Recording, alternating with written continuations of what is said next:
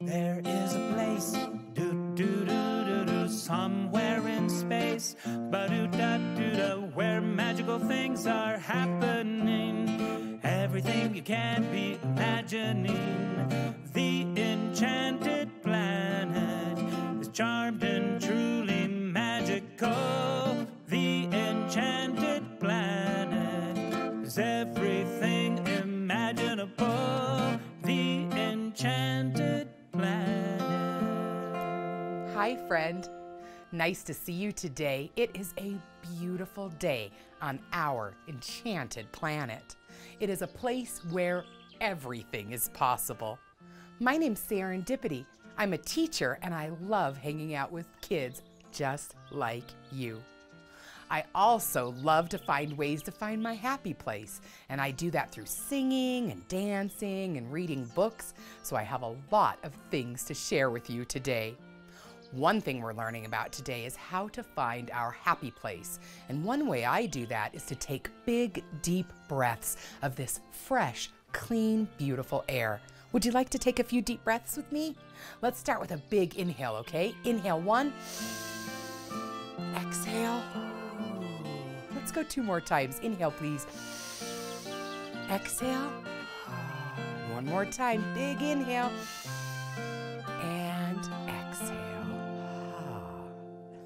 That did help me find my happy place. I am at my happiest when I'm really moving around and being with great friends, just like you. So, what do we have in store for today, you might be wondering? I have got a really great story time for us to hear today. We're going to learn some Spanish from my friend Sandra, the librarian. We're also going to have an incredibly fun hip hop dance party with my friend Chaz. And we are going to learn some new things from Grand Sappy and my animal friends. Are you ready for an adventure? Come on.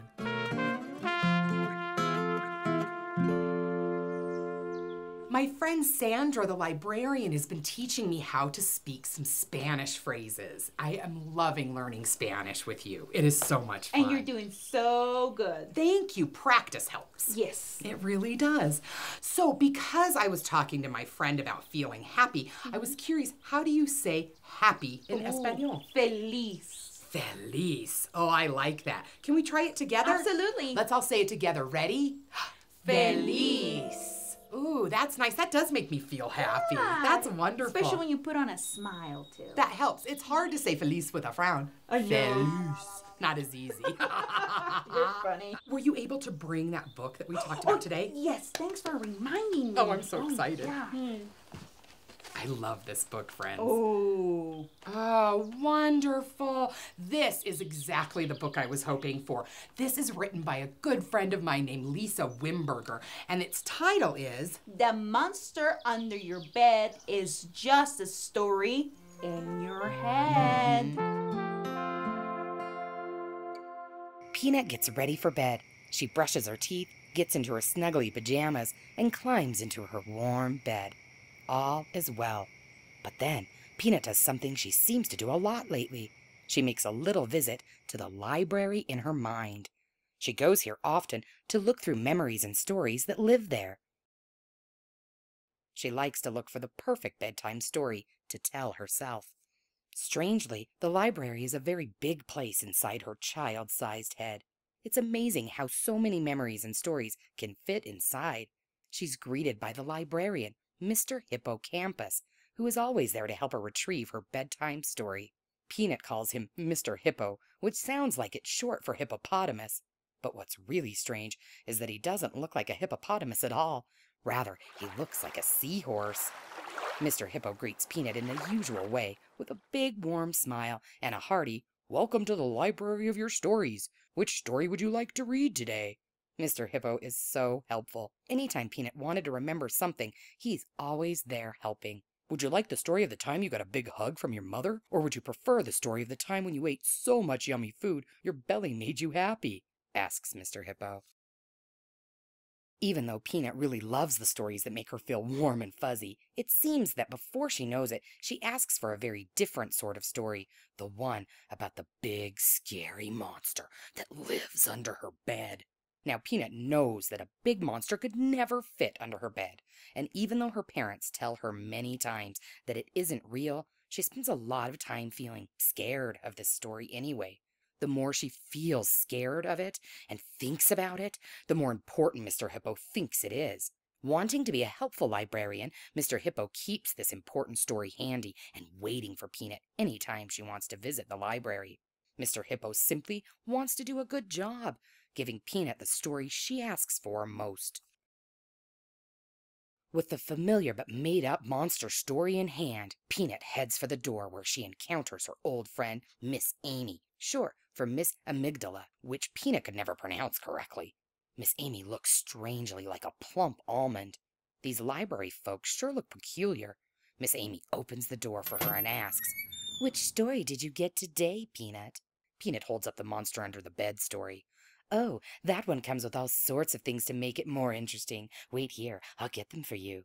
Miss Amy dashes away and quickly returns with a bag of things. She pulls out a coat that looks way too small, and she stuffs Peanut into it anyway. When she buttons it too tightly, Peanut can't breathe so well. Her arms feel tense and frozen in very snug sleeves. This doesn't feel very good. And then Miss Amy takes out a too small hat and jams Peanut's head into it. It feels too tight and gives her a headache. Yuck, this doesn't feel good at all. But just when she thinks she can leave to read her story, Miss Amy takes out one more item a necklace. She places it on Peanut's neck, but it too is very small and pinches a little bit so that Peanut can't swallow well. Miss Amy says, Now you are ready to read the story and feel all of the feelings that make this monster story seem real. Peanut feels tight, stuck, unable to breathe easily or swallow with a terrible headache. Yes, Peanut feels stress and fear, and this seems very familiar when she thinks about each time she reads this very same story. Even though Miss Amy helps her feel this way, she's not a mean person. She's just doing her job to make the story seem more real. But she gives Peanut some great advice before she leaves. Peanut, remember that once you stop reading this story, I'll take back all of the items and you can go back to feeling calm, breathing deeply, and thinking clearly, like the way you feel when you aren't feeling fear. When will that be? Whenever you are ready to read a different story. Peanut wonders why she keeps reading the scary story instead of some of the ones that make her feel good. And precisely when she thinks this, Miss Amy adds, Sometimes the scary stories are easier to retrieve because they come with strong feelings, and strong feeling stories are filed up front in the library, so Mr. Hippo doesn't have to go too far to get them for you. Peanut stops for a moment and asks, What if I don't want to read this story anymore, but it's up front? How do I get a different story to be filed up front so Mr. Hippo gets that one easily? Miss Amy smiles her biggest, warmest smile. That's a great question, and one of life's most precious secrets. Do you think you're ready to learn such a precious secret? With all her heart, Peanut nods yes. Miss Amy steps in closer, kneels down, and takes Peanut's hand. Listen carefully. You have read this particular story many times. The more you do anything, the easier it is for you to do that thing. So getting this story and feeling scared is now easy for you. That's exactly what happens when you practice being scared. So now you have to practice feeling safe, warm, and cozy. You have to choose a different story and tell it to yourself many times for it to be practiced enough to be easy. You have to stop all throughout the warm story and ask, what types of things can your body feel during this story? Let's try that together. When you think of the story of when you got your biggest hug, what did your belly feel like? Warm, calm, and full? Great. Now let's spend a few moments with our eyes closed, practicing feeling warm, calm, and full in the belly. After a few moments of imagining this, Peanut begins to feel it. What else might you feel when you're getting your biggest hug? Protected and safe and soft in my chest? And then Miss Amy asks Peanut to close her eyes and practice that. After a few more minutes, Peanut is breathing deeply and feeling safe. Suddenly, she realizes she is no longer holding the monster story. The too small coat is gone, her necklace and her hat disappear. Confused, she asks what happened. You wrote a new story and practiced it. You were so busy doing that, you couldn't hold on to the scary story, so Mr. Hippo filed it on a back shelf. How do you feel now? I feel good. I'm not scared. Will you come back tomorrow before bed and retrieve this new story we wrote together today? Yes, I will. But how should I ask for it? Let's give it a name or a favorite color so that when you come back, you can tell Mr. Hippo how to find it for you. Okay, I'll call it Purple Yummy. Miss Amy speaks softly and says, Wonderful. I'll look forward to making your goodie bag for Purple Yummy then. She leans in to give Peanut a kiss on the top of her head, and before you know it, Peanut is fast asleep.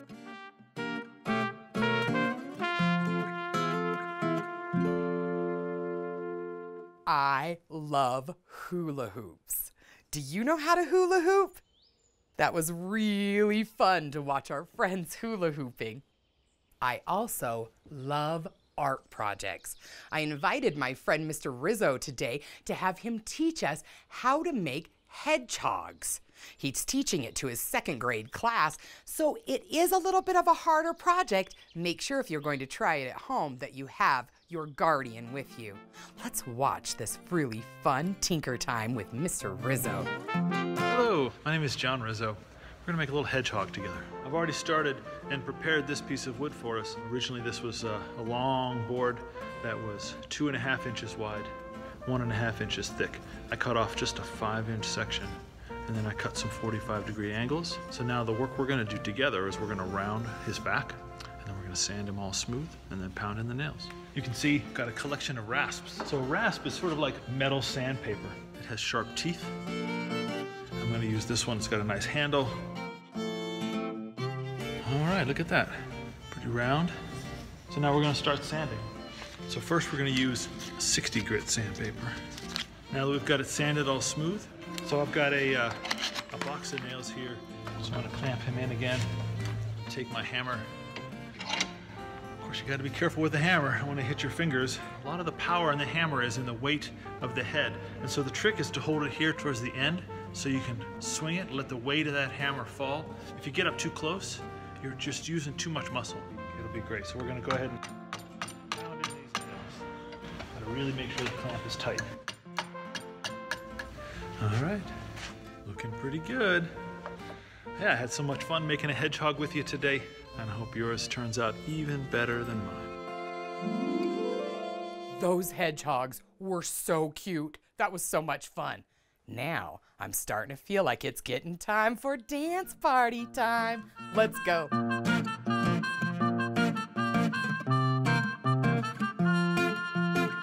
You know what time it is? Do you know what time it oh, is? Oh, friend, I know what time it is. Tell. Hello, friend. Hello, friend. It's dance party time. The, the, the dance party. The dance party. Wicka-ga-bow. Oh, dance party. Shigga-ding, ding, Oh, dance party. Dance now. Dance, dance, dance, dance, dance, dance. so I wanted to invite Chaz back today to sing his hip hop hippopotamus Oh song. boy. Oh, this is such a good song, friends. And what we need you to do is get up with us because we're going to do some real fun hip hop dancing. That's all some right. Pop, Yeah, yeah. Some block, Yeah. some block, and what do you do? We're gonna move. You just have a good time. Mm-hmm. Just let go, mm-hmm. feel the rhythm, feel the beat, Yes. and just dance. That's it. And we're going to go through this two times. The first time, I want you to listen to Chaz singing. I want you to feel your body, try out some cool moves that you've maybe never tried before, because this song's going to invite that. And then we're going to do it another time and just like get it. and just let go. Let it go. Let There it you go. go. Now, one thing I want to remind us before we ever dance is that we need our own personal space. Because if I really start to dance right now, I might hit Chaz. And so we need our own personal space a little bit. Okay, are you good? I feel good about that. Good. And we've got friends who are going to come up here on our beautiful portal. And so we want to make sure that we can see our friends too. You have the opportunity to be involved and be on one of these backdrops sometime. Have your adult look onto our website and learn more how you can be a part of one of our future dance parties. But for now, I want to invite Chaz right up front and center, and I am ready to invite our trees to bring in the hip hop vibe right now. yeah. Hip hop hippopotamus! Oh, I love this.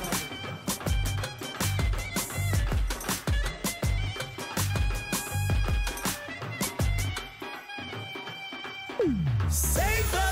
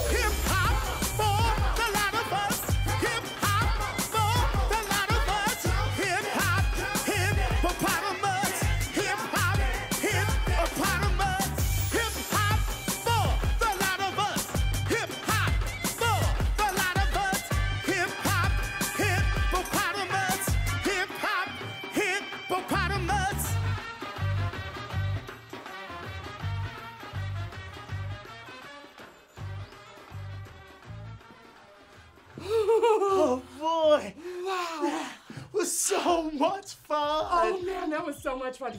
My heart rate is up. I feel better in my body. Wow, I even need to take a deep breath right now. Okay. Hopefully, if you were dancing with us, you're taking a deep breath. Let's do it together. Ready? I need one more. Ready? Okay. Dance is so good for us, and because I don't want you sitting down, let's go ahead and get right into the song again. Now, this is when you get it. you practice, now you're the star. Get it.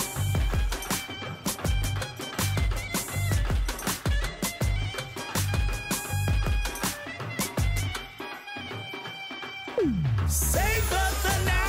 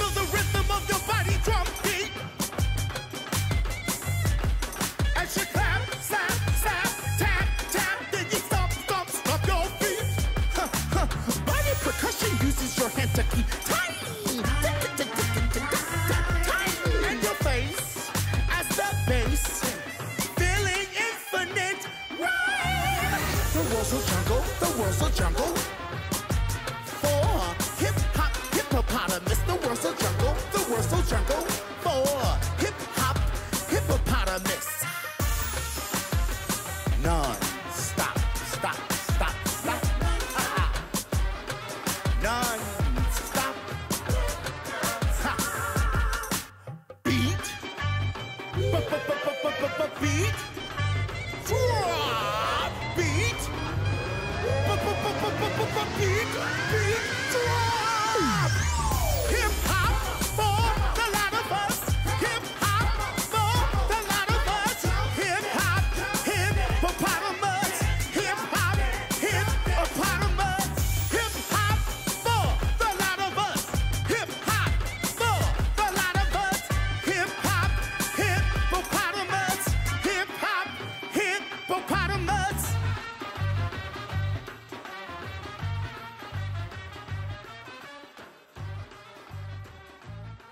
I love animals. Do you?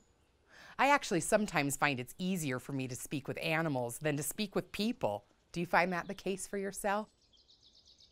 I find that when I speak about how I'm feeling, it helps me to regulate my emotions. And one of my favorite friends to talk to is my friend Grand Sappy. He's a wise old tree and he always gives me incredible advice.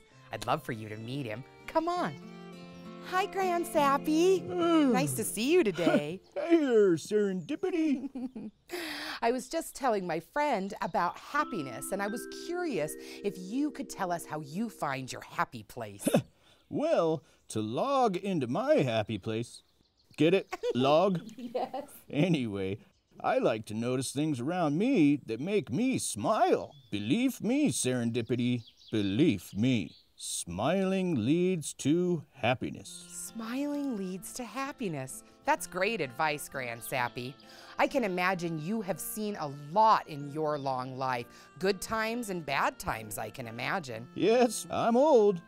Old. Not the oldest. There were trees before me. But I have learned to sway the winds of change and move with flow. Oh, oh, oh, oh, oh. Oh, that's. It looks like my friend Grand Sappy is taking a nap. He does that sometimes, even in the middle of us talking. Ooh, I do see my friends, the Happy Hedgehogs, are out for a play today. Oh, goodness. And my friend Olga, the unhappy urchin, looks upset again. I wonder if I can help. Hi, Olga. It looks like you're having trouble with your mask. Can I help? Ugh, I am so unhappy today.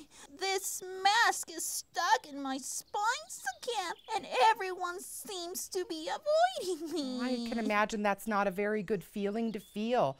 I sure don't like it when people have to stay away from me. It makes me very unhappy for sure.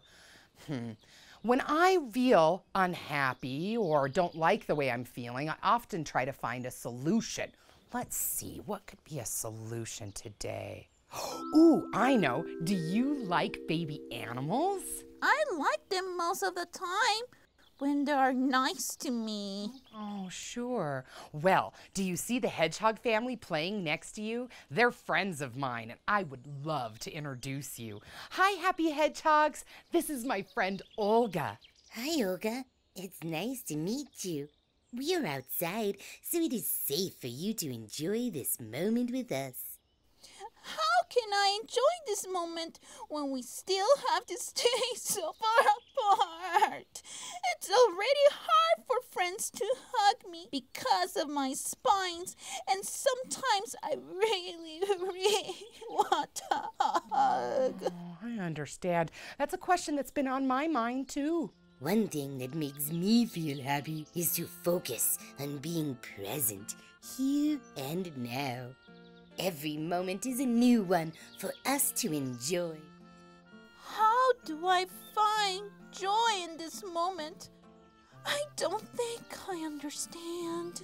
To be content with this moment right now. Let go of past and future thoughts. Just allow. That sounds kind of hard. Is there another way to find my happy place? Oh, yes. the easiest way for me to find happiness is to be grateful and move with love, ease, and grace. Grin from within and share your smiley face or eyes. Ah, that's great advice. I know that I'm grateful to be with you all today. What are you grateful for, Olga? Mm, I am grateful I met new friends. I'm also grateful to be here today. Yay, good. Yay! that makes me a happy, happy hedgehog. Hedgehog, hedgehog, hedgehog. Happy, happy, happy. Yay! Do you want to hang out with us today? We're going to do an art project. I'll be happy to. Oh! Oh! I think I do feel happier. Thank you for being my friend. Be sure to treat each other well. We are all just different trees in one big forest. Hello, everyone. It's Animal Fun Facts time. Let's talk hippopotamuses. These guys are huge. They're the third largest land animal, which is funny because they spend a ton of time in the water. Being in the water helps them stay cool in the African heat, and the name hippopotamus actually means water horse. They even give birth in the water. Hippos are easy to identify because of their short legs, barrel shaped body, and huge mouths. You know those short legs can run up to 30 miles an hour? Hippos look cute, but they wouldn't make very good pets. They can live up to 50 years, weigh up to 4,000 pounds. Where would we keep it? Have you ever tried to draw a hippo? It sounds like fun. If you do, be sure to share your art with us. And draw in plenty of grass. Hippos love grass. And it's probably really hungry from running fast and hanging out in the water, living its best life in Africa. Ah, Hippo life.